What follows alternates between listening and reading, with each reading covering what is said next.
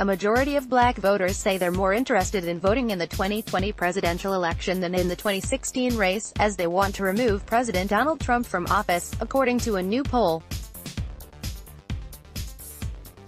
Third Way and the Joint Center for Political and Economic Studies, which partnered with GBAO Strategies for the poll, said black voters' motivation comes from a belief that Trump has been a disaster for our country, and we need to do everything we can to vote him out, reports Axios.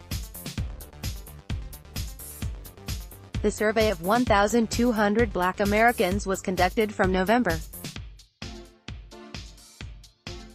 14 to 19, and included an oversample of 493 people in the battleground states of Florida, Georgia, Michigan, North Carolina, Pennsylvania, and Wisconsin, and revealed most respondents believe Trump's election emboldened people with racist views to express them publicly. The second reason most said they want to vote is because of an agreement that casting a ballot is the best way to make my voice heard in our government.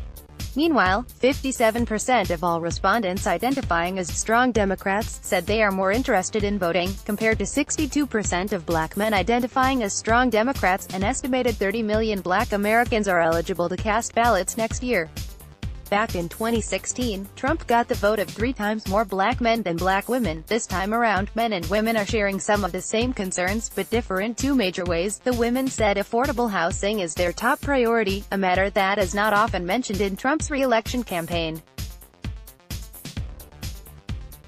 Men said their top concern is the cost of healthcare, an issue Democratic candidates have focused on since before the 2018 midterm elections. Trump has been campaigning on the strong economy, but just 22% of black Americans polled said their financial situation got better over the last two years. Let's block ads.